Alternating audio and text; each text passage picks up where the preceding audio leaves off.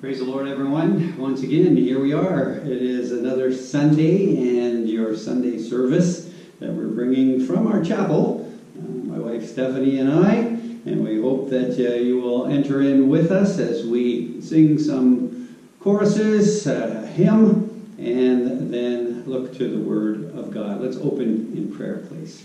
Heavenly Father, we do thank you once again. Here we are by your blessing, your mercy, and your grace able, dear Lord Jesus, to come and worship with you. We ask, dear Father, that you would just strengthen all of your people and help us, dear Lord Jesus, to keep looking up and to keep the joy of the Lord as our strength. We pray, Lord, that you would just bless these words and the message. May it be anointed by your Spirit. In Jesus' name, amen. Praise the Lord. Let's begin with a chorus. I want more of Jesus. I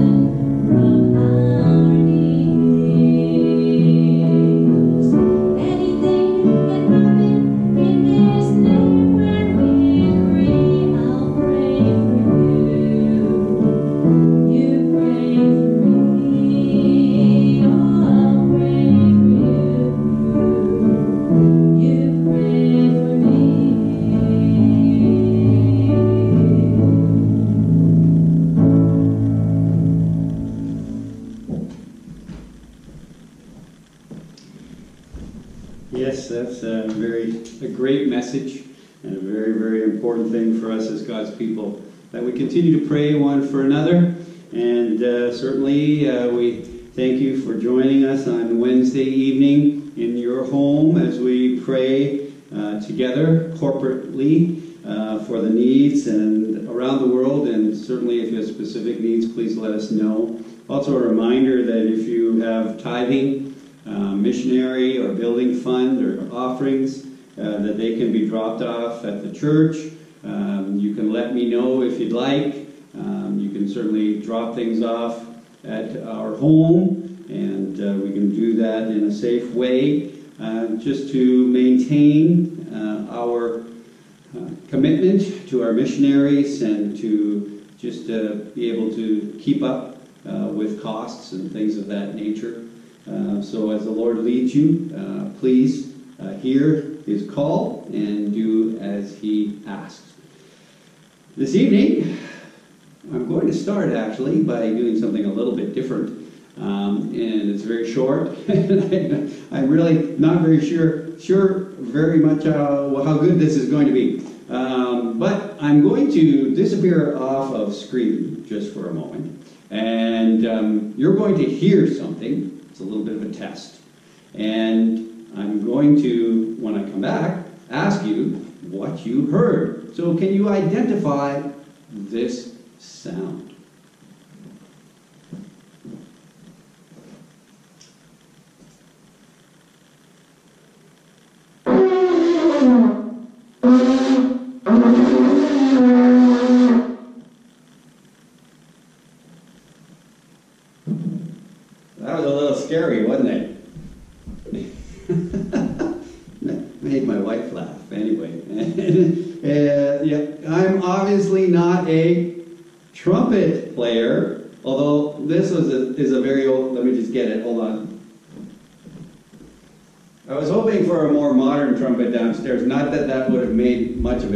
But uh, I did find this lovely bugle, I suppose. Um, what we today would call a bugle. Um, downstairs, cleaned it up a little bit, and I'll do that again uh, before I put it back. And, um, well, a little bit better. It's more of a sort of a sad elephant kind of a sound, perhaps. Uh, but uh, so if you had trouble guessing, if you said elephant, uh, I would give you points for that as well, or any animal in distress. But the correct answer was trumpet, is what I'm after. And uh, we are going to be looking at and examining trumpets in the Bible, uh, and, but more so with regards to their purpose and the uh, sound, the distinct sound that comes from a well played trumpet or a well played bugle uh, that most of us would recognize and look at how important it is for that sound to be recognized and also for God's people to be recognized. My title for this message is Let Your Song Be Heard. Let Your Song Be Heard, and actually inspired by a resident in our backyard of late. I believe we now have male and female that we have spotted. Uh, we have an oriole uh, in our backyards that comes to visit and frequent. Uh, we're feeding, and uh, if the squirrels don't get the slices of orange, then we believe that they are getting some of that as well, but the nectar that is there. But the other morning I was out um, earlier with um, our dog and just uh, sort of enjoying the backyard and the sound of the stream, and I heard a sound that I immediately was able to identify as an oriole. Now, the reason that I can identify that now is I've managed to see him or her actually singing and uh, making themselves known. So I know now that that sound is coming from an oriole. But now I can identify that sound and know simply by the sound that that oriole is close somewhere, is nearby, and he is singing for all he is worth. She is singing for all she is worth. They are letting the entire world know that they are there. And that made me reflect on God's people. It made me think about are we, are you, am I, is God's church truly sounding the alarm or singing God's song so that the world around us knows that we are here? They should be able to identify us by our song. And when I say that, I'm really, I suppose, considering our entire lifestyle. Our entire life should be as the trumpet sound, uh, letting the world know that the Lord's people are still here, letting people in Canada know there are still Christians that are here, there are still praying people that believe that my God can do anything, that God is able to heal, that God is able to deliver, all the things that we find in Scripture that we still believe and stand for what the Lord has taught his children. We have not disappeared. You see, the day that I go outside and I can't hear, because right now, pretty well every day, I couldn't really tell you the last time I've been outside and not heard the Oriole. When I stop hearing him, it will tell me that something has happened to him or that he has gone away. But while I hear him singing, even if I don't see him in person, I know he is nearby and he is telling me so. So I was thinking about that and our Christian song, and that made me think about the trumpet. Because in Scripture, we often refer to the trumpet sound. And so we are going to take a look at the use of the trumpet and how today we are still to be like trumpets. And Scripture actually speaks to that. So let us start in the Old Testament because this is where in Numbers, Numbers chapter 10, we see a reference to trumpets. Now, I am going to make a distinction here uh, a little bit uh, because these were not uh, the um, shofar, the ram's horn, uh, that we know is associated with many Jewish uh, celebrations, and we see that also in Scripture. This is not the shofar that is being blown. These are what Scripture refers to as trumpets. So I was a little bit curious and I did some research, and my question into the computer was what did a trumpet look like in biblical times? And basically, um, it looks like a long bugle. Okay, it's sort of like if I take this, if we take this and we stretch it out so that we don't have all of these curls in here, and basically we would have one long uh, cylindrical tube opening up um, that would be blown um, as Scripture refers to it here. And these trumpets that we're going to read about here in Numbers, they were made out of silver. And they were to be blown by the priests um, and had special purpose as well. And we want to take a look at the purposes uh, that we see here. So, Numbers chapter 10, and we're going to start reading at verse 1. Numbers 10 and verse 1. And the Lord spake unto Moses, saying, Make thee two trumpets of silver. Of a whole piece shalt thou make them, that thou mayest use them. And here the Lord explains for the calling of the assembly, and for the journeying of the camps. And when they shall blow with them, all the assembly shall assemble themselves to thee at the door of the tabernacle of the congregation. And if they blow but with one trumpet, then the princes, which are heads of the thousands of Israel, shall gather themselves unto thee. When ye blow an alarm, then the camps that lie on the east parts shall go forward. When ye blow an alarm the second time, then the camps that lie on the south side shall make their journey. They shall blow an alarm for their journeys. But when the congregation is to be gathered together, ye shall blow, but ye shall not sound an alarm. And the sons of Aaron, the priests, shall blow with the trumpets, and they shall be to you for an ordinance forever throughout your generations.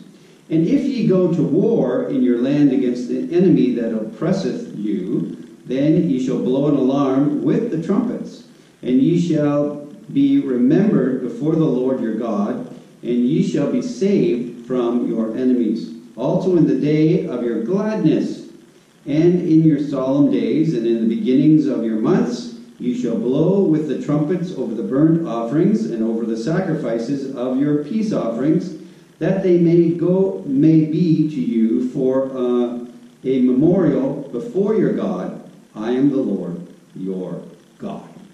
So here we see that God instructs uh, Moses and the people that they are to build, construct uh, these silver trumpets, uh, tells us specifically out of one piece, and that they are to be blown, but they are to be blown for specific purposes.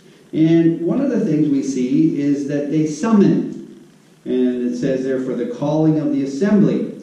And so it calls people together. The trumpet also was used to tell people it's time to move. So this was a communications tool. It was blown as an alarm, and there are specifics that are given here. And it is also to be blown, if you look in verse 10, uh, it is also to be blown for gladness, for celebration, and for holy days, solemn days. And of course, in verse 9, it speaks about when they were going to war. So the same trumpets were blown for different purposes at different times, but in all cases, they were being blown as per instruction of our God, as the Lord instructed them. So I would imagine that they were not used just for casual music or anything of that nature. They were blown specifically for what God had ordained them to be blown for when that was supposed to happen. And it had purpose. Because, you see, the trumpet's blowing was very unique. It was distinct. It was something that could be heard above all of the other chatter and noise, which you can, you know, try to imagine. We're not talking about a small gathering. The children of Israel were not a small group of people. There were thousands of people, families divided into their different tribes, and somehow they had to be organized. They had to have some way of knowing what to do. So without the technology that we have today, um, they used the trumpet. And today, you see, the distinct sound of the trumpet coming from you and coming from me as God's people can still serve the same purposes. The scripture tells us in Matthew, turn with me to Matthew chapter 5, journeying now into the New Testament. Let me take some familiar verses and just blend them in here with this whole idea. And I want you to keep thinking about how, as God's people, we are not to be silent. Silence is not a good thing in this particular case. Silence of the oriole means that either that bird is gone or is dead. Something has happened. It's sick. Something is not right. The birds sing when they are happy. They sing also for purpose, to call one another. And so you see, as God's people, when we fall silent, I would say to you that there's something not right. We're not in the place where the Lord wants us to be. Because we should be blowing the trumpet. We should be letting people know that God is still on the throne and letting them know where they can come to meet the Lord as their Savior.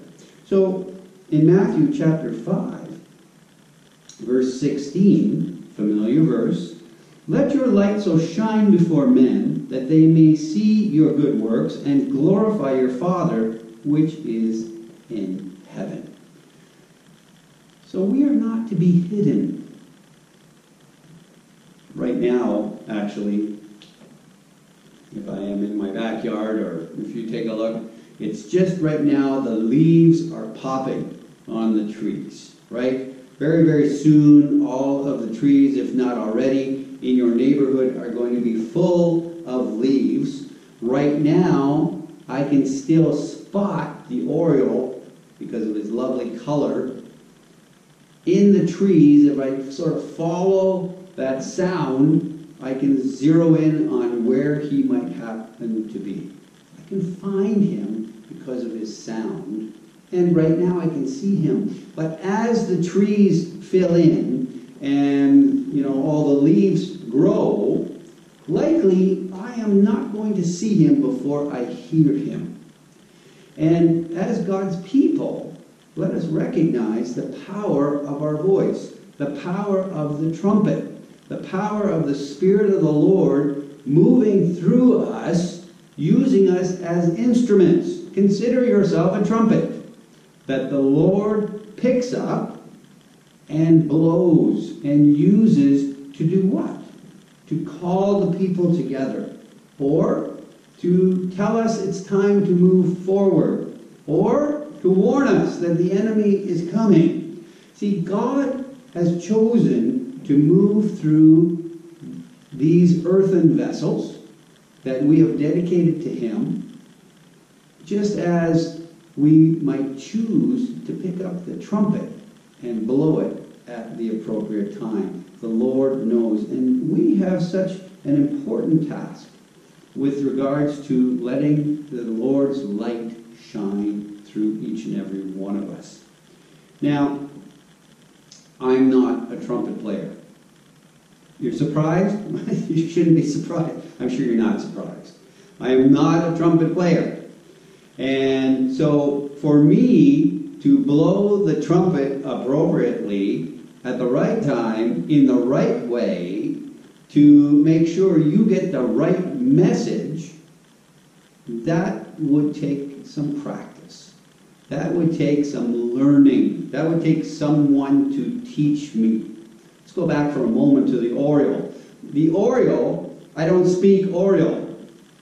And so to me, it's just a lovely sound, and it's some, you know, the oriole is singing or chirping, uh, however you would like to describe it. But that oriole is communicating to others of its same species.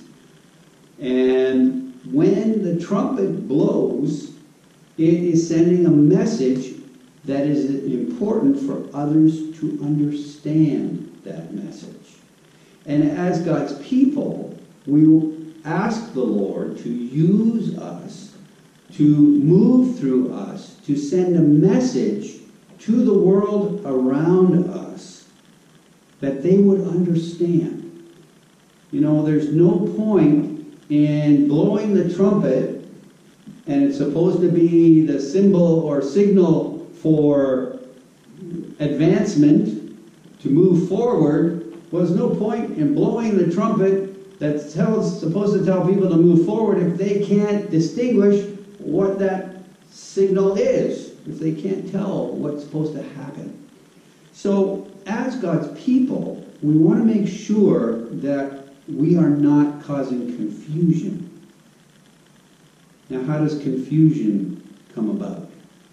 I believe confusion comes about when I do things my way and you do things your way, somebody else down the street does things their way, and everybody is claiming to be blowing the trumpet of the Lord, to be sharing the gospel, to be furthering God's kingdom, but we're all going to do it in our own way.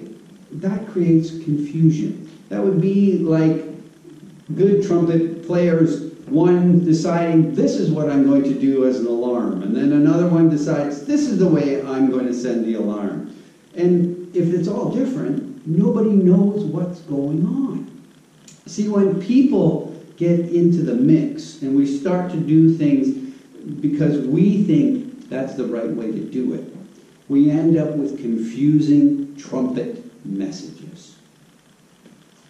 We need to take our instruction from the gospel. We need to have our instruction from the Lord. He's the master. If we continue with our sort of picture of the trumpet, he is the teacher who teaches us this is the way you blow the trumpet when we want to send this message. And then we don't do it our own way. We learn to do it God's way. So, Scripture also tells us in 2 Timothy, and this is one of the verses that I like among many, but I think is very important. 2 Timothy chapter 2. 2 Timothy chapter 2, verse 15. Study to show thyself approved unto God, a workman that needeth not to be ashamed, rightly dividing the word of truth. See, it would be foolishness for me to say to you, I am an established trumpet player. Well, I should be ashamed of how I play the trumpet because I don't play it. I just kind of blow in it and there's some noise that comes out. But you see, Scripture tells us that we are to study the Word of God. This is like our blueprint, this is our instruction book.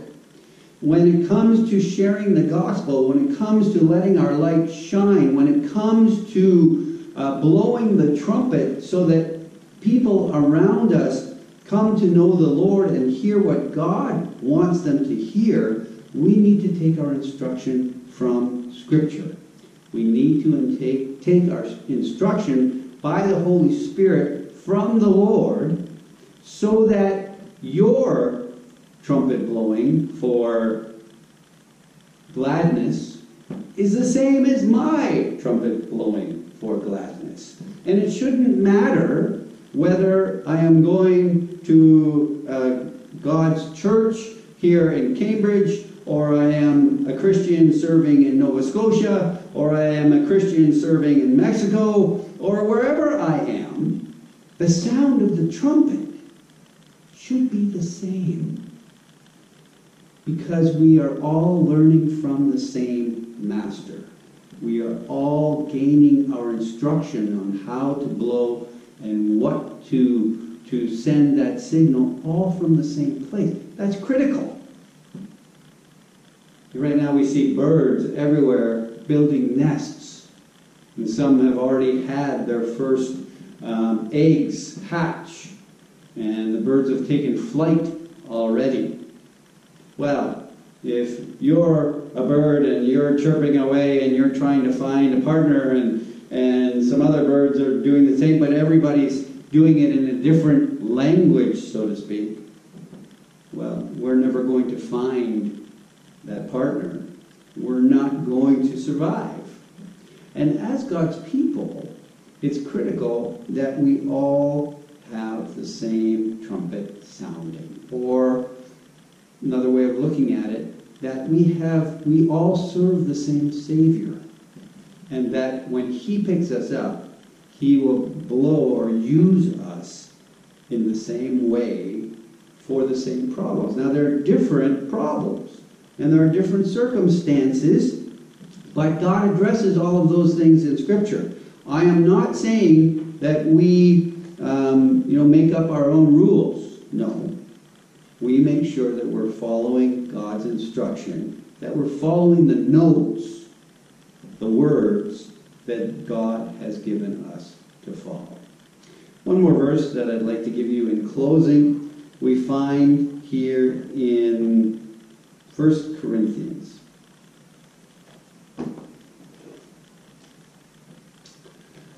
In 1 Corinthians chapter 14. chapter 14 is an interesting chapter, and it actually speaks with regards to prophecy. And uh, the verses here uh, speak to the Holy Spirit speaking through God's people in tongues. Yeah, now, that's not my topic for this particular message, but there is a verse here that does apply, and it is verse 8. So we are in 1 Corinthians chapter 14 and verse 8, where it tells us, For if the trumpet give an uncertain sound, who shall prepare himself to the battle? Let's read that one again. That's really, really important. For if the trumpet give an uncertain sound, who shall prepare himself to the battle? Now, just in closing, let's substitute, without changing Scripture, let's substitute here some other words or terms for trumpet. What if we were to say, for if the Christian give an uncertain sound? Or how about if the church give an uncertain sound? You see what I'm getting at? You see, we have to, as Scripture says, let the light shine. We need to let the Lord use us so that that trumpet sound, we need to testify. We need to live a life that is according to the gospel. We need to be identifiable to the world around us so that perhaps they've never set foot in a church, yet they know, hey, that's a Christian that lives in that house. How will they know? They'll know by the sound that we make, the song that we sing, the life that we are living. But if that is uncertain, you know, when I blew the trumpet, bugle, that was pretty uncertain, wasn't it? Right?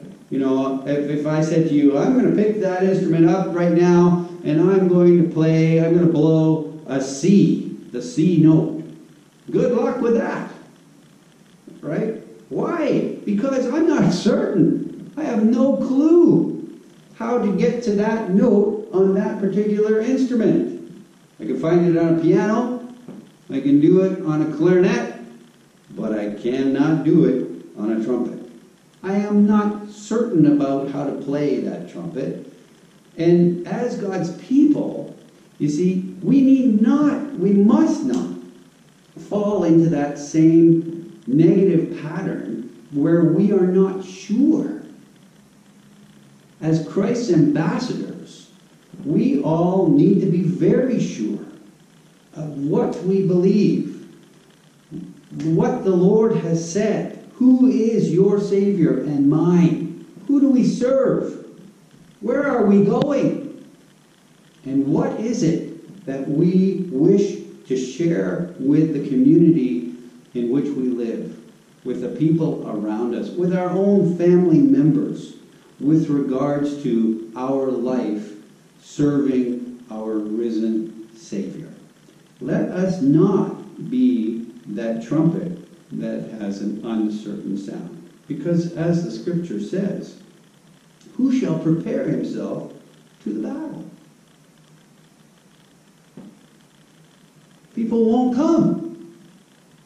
They won't recognize the truth because we're not sure about the truth.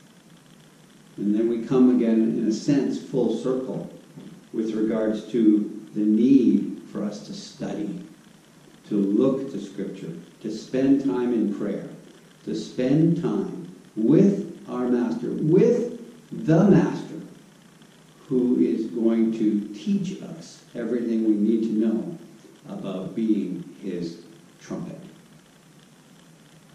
I'm going to leave you with that thought. I'm going to ask you to pray about how you are as a trumpet. What kind of trumpet are you? And is the Lord using you to send that message to the community around us? Heavenly Father, we do ask, as we close this sermon, as we close this message, Lord, that you would pick us up. Perhaps we're a little tarnished. Perhaps we have some dents and some bruises, so to speak, of our journey. But Lord, regardless of that, I know that you can make us a new creature. You can take a used, beat up trumpet and you can make it shiny and new again. But that trumpet, Lord, just as our lives, I pray, help us to be dedicated to you. As we read, Lord God, you instructed the building, the creation of two silver trumpets, and that they were to be used for a specific purpose. And Father, let us be sanctified. Let us be set apart. Let us, Lord Jesus, be holy unto thee. That, Father, we could be used by you to send that message, to send that word, to give that warning when you, dear Lord Jesus, lead and guide and direct us to do so. May we have a song that we sing that others around us would know that we are your children. I thank you and I praise you, Lord God, for your care and your love, and for, dear Lord Jesus, just keeping us for another day. May we, dear Lord Jesus, continue to worship and serve you. Though we do it distant from one another, I'm thankful, Lord, that we can feel your spirit move, that we, dear Lord Jesus, can feel your anointing. And let, Lord, you continue to bind us together with your love and with, dear Lord, the blood that was shed at Calvary. We ask, dear Father, Strengthen us and bring us, dear Lord Jesus, closer to you. In thy mighty name, amen.